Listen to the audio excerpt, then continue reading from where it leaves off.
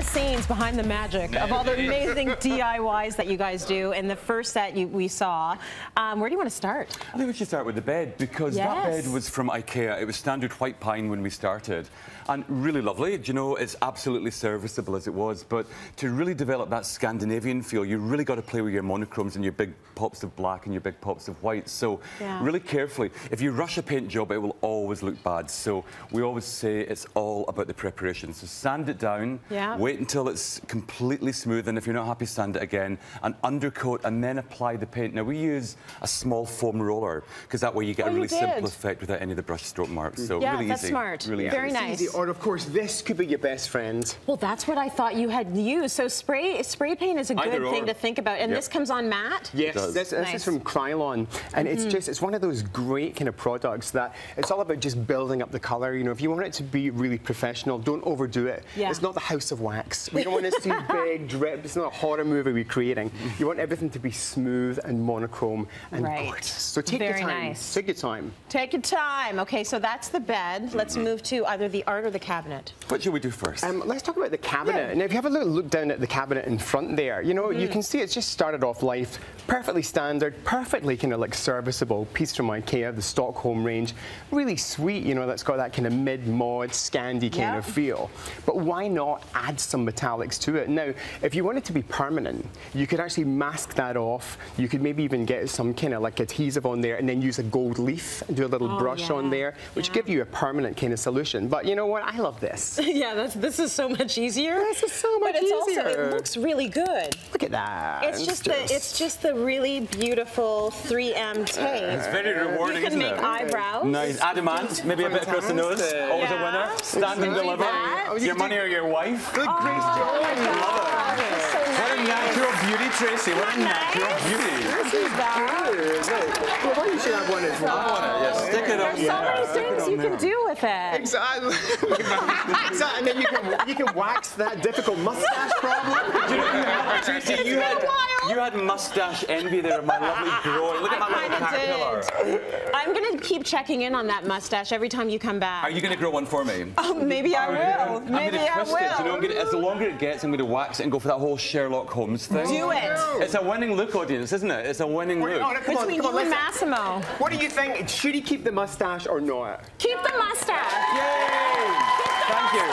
Yes, I'm keeping it. That our. Exactly. it's simple to achieve facial DIY. Now, on the subject of simple DIYs, Tracy, all of the artwork that you can see here in the table that we'll talk about, and everything in our room vignette, all started life with paint scraps, black card, which we cut into small triangles, artist card from Dollarama, you know, a buck nice. and a half a sheet, really, really affordable.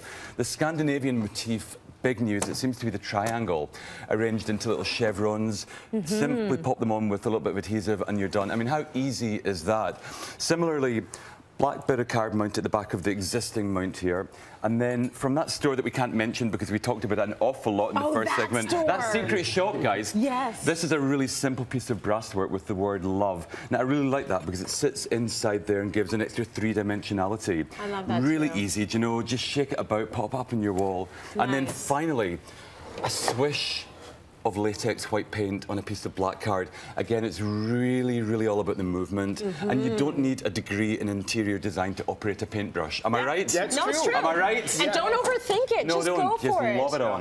Think about all the uh, the folks out there that are maybe in um, temporary spaces exactly. or people out there like me. Like I want to be able to, I want to rip my gallery wall down and have a new humongous exactly. piece of art. Yeah, exactly. I don't necessarily want to drop $4,000. Exactly. And so. you can buy a big canvas, you know, in an art store for $35. It'll be like four and a half feet, five feet high. Yeah. Big impact, huge, big statement. And then when you change your mood at the end of that season, you just change the colour scheme and you're yeah, done. Switch it. Yeah, yeah. exactly. Nice. Okay, so we've done the art, yeah. Oh, the plant. Do you know, I did love this. Yeah, Who remembers macrame I'm from the first time round? Who remembers Rhoda? It is. It's pure Rhoda. It's kind of like, what's a Valerie Harper? Yeah, I know. Rhoda, yes. Mary Tyler Moore realness. I know. I just love this because it's got a little bit of beading in there. It's got a nice natural element as well. Yeah. And you know what? We're so into putting hanging baskets outside. Mm -hmm. Why don't we do it inside? Yeah. You know, so Why we not? just we got some brackets. Again, these are from IKEA, uh -huh. and we just secured them onto the wall to give us somewhere to actually hang them off. And anything you can do to give your walls a bit of an extra dimension inspiration. You know, we talked about plants and the mm-hmm. feel-good factor, especially on this Blue Monday. Absolutely. Anything you can do to enhance your lifestyle, to make it better. And you know what? You just you can't go wrong with mm-hmm. plants. We talked as well, Tracy, in the first part about these panels. little simple panels from mm-hmm. IKEA. You know, they're really easy. They're generally on a little sliding track so you can move them in and out to separate a room or maybe an area where your clothes are in a small space. Okay. But there's no reason that you can't affix them as we've done here with panel pins or a bit of spray mounted adhesive. And then you've created that extra layer. And I think that's the secret for design. I think if something's really one dimensional and, and you look at it and it appears really flat, then you're not motivated by it. But when you add those extra layers and you start to get the energy levels flowing, you know, and we're talk, you talked earlier on about the fact that it's Blue Monday. We want things to excite us, don't we? We want Yeah. energizing interior design, and that's the secret. Especially uh, the beginning of the year. I think a lot of us look around and think, what can I do uh, that is not going to kill my Visa bill anymore, but will, will give me something overspending.